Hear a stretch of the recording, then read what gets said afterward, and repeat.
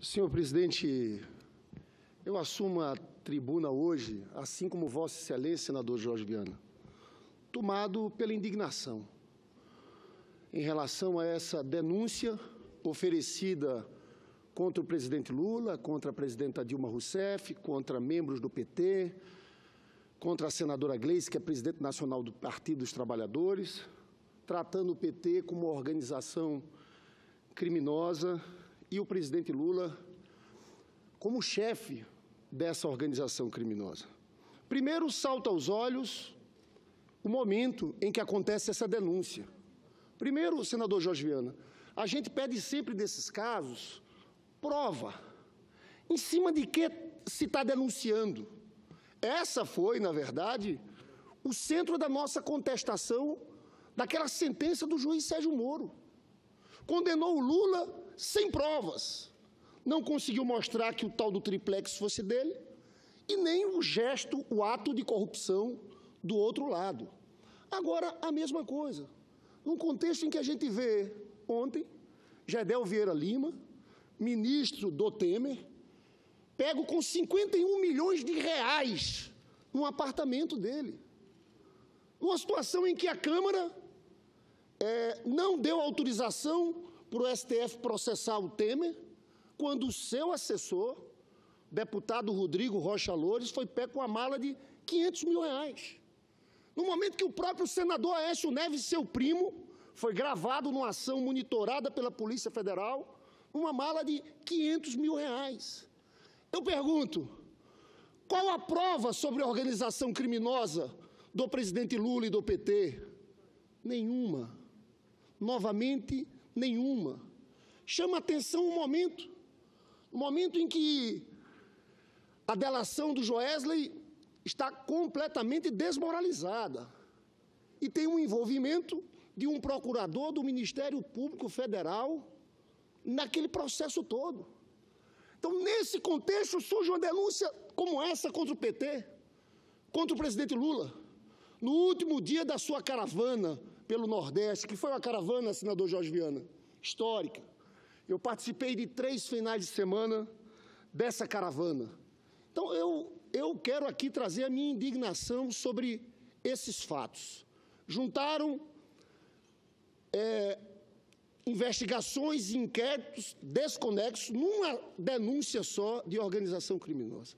Chama atenção que a denúncia foi só de organização criminosa. Não está lá na denúncia corrupção, nenhuma outra ação. Eu acho que foi, sinceramente, para desviar o foco. Foi para desviar a atenção. Num caso como esse, no momento em que o Ministério Público estava numa situação de defensiva, vamos fazer o quê? atacar os suspeitos de sempre. O PT, os suspeitos de sempre. Porque quando se fala em ataque ao PT, a Rede Globo, a mídia, coloca lá nas suas capas de jornais. Eu quero, inclusive, trouxe aqui, senador Jorge Viana, essa capa do jornal o Globo, que para mim é escandalosa. Janot denuncia Lula, Dilma e PT por organização criminosa. E aqui embaixo está o dinheiro do Gedel. Quem vê estampado assim nas bancas, liga uma coisa a outra. Onde é que está o nome Gedel Vieira Lima aqui? Você não vê. Janot denuncia Lula, Dilma e o PT por organização criminosa e está aqui embaixo as malas de dinheiro. É esse papel vergonhoso. Então fica parecendo que foi uma denúncia para desviar o foco. Vamos atacar os suspeitos de sempre. Porque tratam o PT como o inimigo interno. Você sabe que no nazismo era isso. Os judeus, qualquer coisa, era o inimigo interno. Em cima daquilo, eles faziam todo tipo de barbaridades. Nesse caso aí, se tivesse um ombudsman do jornal, certamente faria uma boa matéria colocando da gravíssima. Claro. Da gravíssima manipulação do que é jornalismo ou que deveria ser o bom jornalismo. Não, e eu hoje... não tenho dúvida. Eu lamento, porque eu respeito os profissionais que trabalham, mas é terrível isso. E hoje na Globo News também era lá a cara de Lula e Dilma, organização criminosa, depois de outros nomes do PT. Então o objetivo parece ter sido esse: desviar o foco dessa crise geral que o país está vivendo e dessa delação do Joesley que foi desmoralizada com o envolvimento de um procurador do Ministério Público. Eu só posso entender dessa forma. Só posso entender dessa forma. E quero trazer aqui a minha indignação contra tudo isso. Acusar o PT de organização criminosa. Você sabe qual foi o crime do PT? Foi ter olhado para o povo mais pobre desse país. O crime do PT foi ter tirado 32 milhões de brasileiros da pobreza extrema. O crime do PT, que essas elites não perdoam, foi ter colocado o filho do trabalhador o jovem negro nas universidades públicas. O crime do PT e do presidente Lula foi ter sido o primeiro presidente da história desse país a ter feito, num governo só, mais escolas técnicas do que toda a sua história. Na verdade, escolas técnicas existiam 140 no país. Nos governos Lula e Dilma, fizemos 422. Nós tínhamos 140 campos de universidades públicas. No governo Lula e Dilma, nós fizemos 173. Foi ter olhado para esse povo do Brasil. Esse foi o crime do PT, que essas elites não perdoam. Que esse Ministério Público, num momento como esse, ataca, sem identificar concretamente as provas contra o presidente Lula e contra o PT. Eu só peço, presidente Pedro Chaves aqui, apresentem provas. Está cheio de provas em vários casos aqui dessa justiça seletiva. Está cheio de provas. Tem malas e malas de dinheiro. Tem a mala do Gedel, tem a mala do Rodrigo Rocha Loures do Temer, tem a mala do Aécio. Agora contra Lula me mostre. Apresentem as provas. Não há provas. E fazem uma denúncia como essa, espalhafatosa, que não vai a lugar algum. Eu quero dizer aos senhores, eu quero dizer ao pessoal da Globo: olha, os senhores perderam tão a mão os senhores fazem uma perseguição tão infame, que sabe qual é o desgaste disso para nós do PT, para o presidente Lula? Nenhum. Nenhum. Eu vi agora na caravana do Nordeste. O povo brasileiro está sabendo que é uma perseguição contra o Lula. E o povo brasileiro está sabendo o que está acontecendo no Brasil. Porque o desemprego não para, não para de aumentar, estão retirando direitos, e as pessoas olham para Lula e veem o seguinte: puxa, na época do Lula, a minha situação era diferente. O Brasil estava crescendo, nós tínhamos emprego, tínhamos inclusão social. Eu vi isso. Eu vi, eu comecei participando da caravana na Bahia. Eu me lembro, a primeira ação do presidente Lula foi visitar as obras do metrô de Salvador. E eu vi lá os trabalhadores quando Lula chegou. Cenas de abraços apertados, olhos marejados, a relação desse povo com o Lula e do Lula com o povo, que não foi feita em cima de algo vazio. Essa relação foi construída em cima de um, de um conjunto de políticas públicas que colocaram o povo pobre do Brasil no orçamento. E agora esse povo está vendo que estão destruindo tudo. Eu, inclusive, essa semana fiz um pronunciamento aqui sobre o orçamento de 2018 eu queria pedir até a assessoria se pudesse trazer novamente esses números aqui, porque eu quero falar. Porque tudo que tem a ver com combate à miséria, com programas e políticas sociais para o povo mais pobre, eles estão retirando do orçamento. Tudo que tem a ver com índio, tudo que tem a ver com reforma agrária, eles estão tirando do orçamento. Então eu quero dizer aos senhores, se os senhores acham que isso aqui nos intimida, não. Nós estamos sendo curtidos da luta. Nós não temos medo, porque nós temos uma causa. E a nossa causa é a causa do povo trabalhador. É a causa do povo brasileiro, que está sendo duramente explorado nesse momento. Ah, esse golpe foi para isso. Eles deram um golpe nesse país, eu sempre disse desde o começo, um golpe de classe, porque queriam superexploração dos trabalhadores. Do momento de crise econômica, eles querem sair da crise econômica retirando direitos, diminuindo o salário do povo trabalhador brasileiro. Só que eu estou convencido, nós vamos retomar esse país para um outro projeto, para um projeto novamente de desenvolvimento com inclusão social.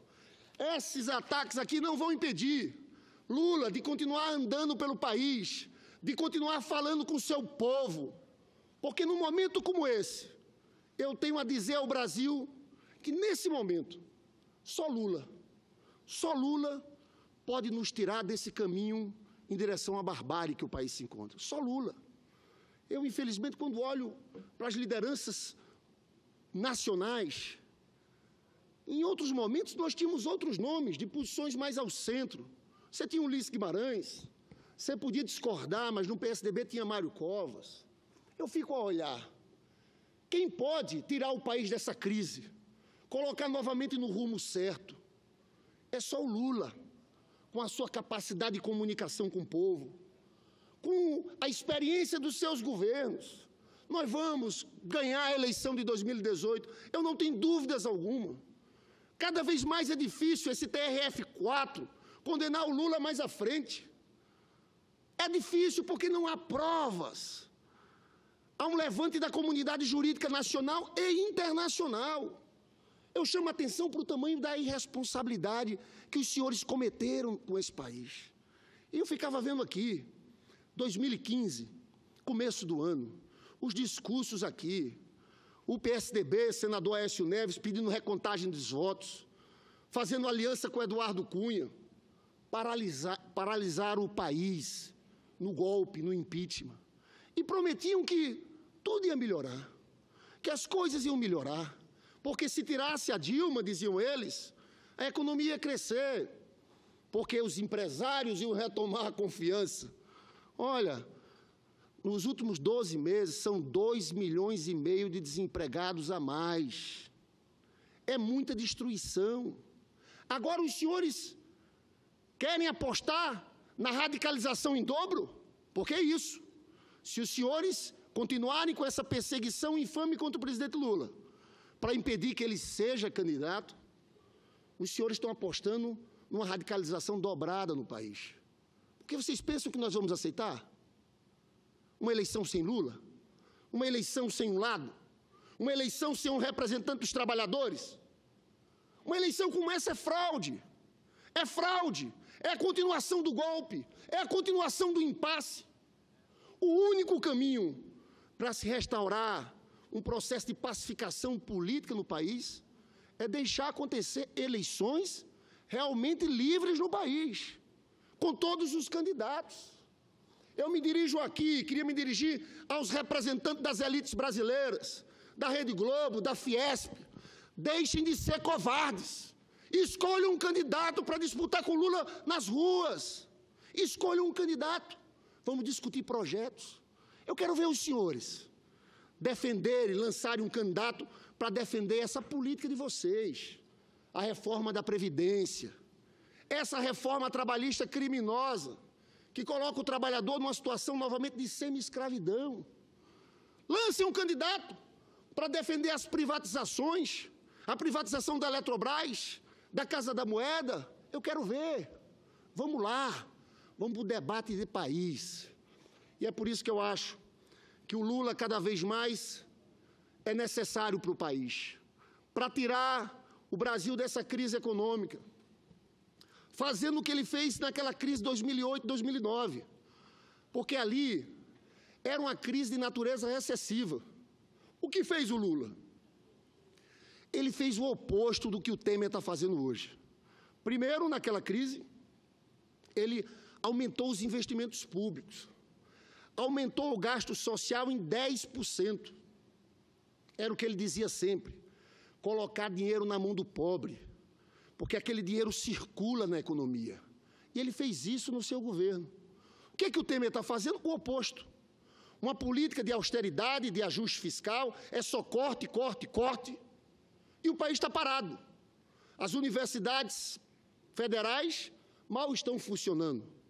Ciência e Tecnologia, o presidente da Academia Brasileira de Ciências, disse que, quando olha para a ciência e tecnologia do Brasil, ele disse que só tem uma analogia a fazer: de um país em guerra atingido por uma potência estrangeira. Os centros de pesquisa estão paralisados. Colocaram 1 milhão e 200 mil pessoas para fora do Bolsa Família. Tem 500 mil pessoas na fila. Anularam o aumento do Bolsa Família. Nesse ajuste fiscal. É um ajuste fiscal todo em cima dos mais pobres. O Lula fez o contrário. E o Lula não foi responsável fiscal. Ninguém pode acusar o Lula disso. Porque o Lula fez superávites em todo o seu governo. Fez superávites até alto demais em alguns momentos do seu governo. Mas sempre teve uma preocupação com responsabilidade fiscal. Qual outro ponto que ele fez que nós vamos fazer novamente? Os bancos públicos. Porque o Temer está destruindo os bancos públicos. Banco do Brasil, Caixa Econômica, e ontem votaram aqui um projeto que acaba com a TJLP, né, que praticamente inviabiliza o BNDES, porque você coloca uma taxa de mercado, a TLP, olha, não vai ter gente que queira pegar esse empréstimo para fazer investimento de longo prazo no país. Você sabe que se existisse essa nova taxa, naquela crise de 2008, 2009, porque essa taxa é extremamente procíclica. Em momentos de crise, como é a taxa do mercado, ela sobe. Então, naquele momento, daquela crise de 2008, 2009, o Lula baixou os juros da TJLP para emprestar, para a economia se reanimar. Se tivesse essa taxa, a taxa de juros seria 16%. Eu ontem anunciei aqui, nós perdemos a votação da medida provisória por um voto. Mas eu garanto a todos os trabalhadores do Brasil, aos empresários, quero falar para os funcionários do BNDES, eu garanto que no novo governo nós vamos lançar uma medida provisória anulando essa bobagem que foi aprovada aqui no dia de ontem. Mas veja bem, esse foi outro ponto que o presidente Lula fez na, sua, na crise de 2008. Bancos públicos, eles estão destruindo isso. Terceiro ponto, estatais, que agora querem privatizar, e eu quero falar sobre isso. Mas o Lula fez o contrário. Na crise de 2008, 2009, o Lula pediu para a Petrobras e Eletrobras acelerarem seus investimentos. Aquilo foi fundamental para a economia se recuperar. Agora eles estão nessa política criminosa. A privatização da Eletrobras é um crime. Nós não teremos mais planejamento, não teremos segurança energética. Nós vamos entregar o controle para o mercado, para o setor privado. E isso vai fazer que o Brasil perda, perca seu espaço de planejamento. Podemos voltar a ter apagões, como já existiu na época do governo Fernando Henrique Cardoso. E também, eu faço uma pergunta aos senhores que estão nos escutando. Programa Luz para Todos. Foi um programa importantíssimo, que levou luz para as cidades mais pobres desse país, no Nordeste, na região amazônica. Os senhores acham que uma empresa privada fariam esse investimento? Os senhores acham que uma empresa privada teria interesse em levar luz elétrica para os pequenos municípios do sertão nordestino? Não, porque essa não é uma atividade que dá muito lucro, pelo contrário, mas é uma atividade necessária. Só uma empresa pública faz isso. Eu dou um outro exemplo da Chesf. A Chesf agora devido à seca do Nordeste, uma seca de cinco anos, tomou uma decisão. Aproveitar a água primeiro para o uso das pessoas, não para a produção da energia. Vocês acham que uma empresa privada faria isso? Não faria. E o pior é que eles estão vendendo nossas estatais, a Casa da Moeda, que é símbolo do país, que emite nossa moeda, o nosso passaporte. A gente pode vender para uma empresa estrangeira, uma Casa da Moeda que é lucrativa. Então, eles estão fazendo tudo isso simplesmente para diminuir o tamanho do buraco fiscal do próximo ano. É privatizar uma empresa da importância da Eletrobras para ganhar, segundo eles, 20 bilhões, um valor pequeno, para resolver o problema fiscal do próximo ano. Por fim, o Lula fez essa economia crescer porque incluiu o povo no orçamento, porque teve um reajuste do salário mínimo 77% acima da inflação. Isso, nós criamos um grande mercado de consumo de massas desse país. O Bolsa Família ajudou os pequenos municípios, a aposentadoria rural, tudo que eles estão destruindo. Então, presidente Lula, eu encerro aqui minha fala, dizendo ao senhor que andei com o senhor nessa caravana. Saí muito impressionado com o seu tamanho Presidente Lula, o senhor é um gigante. O senhor é um gigante. E só o senhor, nesse momento, pode tirar o país dessa crise. Só o senhor, nesse momento, pode arrumar essa bagunça que foi construída. Eu, eu pedia só mais dois minutos para concluir. Só o senhor, nesse momento, pode arrumar essa bagunça que foi construída, essa bagunça institucional, depois do impeachment da presidenta Dilma. Você sabe que o Joaquim Barbosa fez um pronunciamento correto em entrevista, que ele diz, olha, depois que tiraram a presidenta da República, que não cometeu crime de responsabilidade, você criou um desarranjo institucional. Então só o senhor, presidente Lula, pode conduzir esse povo brasileiro. Nesse momento que te atacam novamente, eu digo ao senhor que olhe para as crianças pobres do Nordeste brasileiro. Nós, antes de você assumir a presidência da República, morria uma criança no Brasil a cada cinco minutos de fome e desnutrição. E o senhor mudou isso. Olhe para esse povo. Não sou eu que sou senador do PT, os militantes do PT que precisam do senhor. Quem precisa do senhor é o povo mais pobre desse país, que tem esperança no novo governo do senhor. Então eu peço ao senhor força nesse momento, porque o senhor tem essa tarefa grandiosa, que é tirar o país da crise, voltar a incluir os pobres no orçamento brasileiro. E quanto a isso aqui, não se preocupe. Isso aqui, o é total da imprensa e desse setor, desse sistema judicial extremamente partidarizado. Porque o senhor tem falado, apresentem uma prova contra mim. Não apresentam. Não apresentam porque não tem a raiva deles, presidente Lula. O crime que o senhor fez, presidente Lula, foi olhar para o povo pobre. Isso é imperdoável para essas elites brasileiras. Força Lula, força PT, vamos em frente para tirar o país dessa crise em 2018.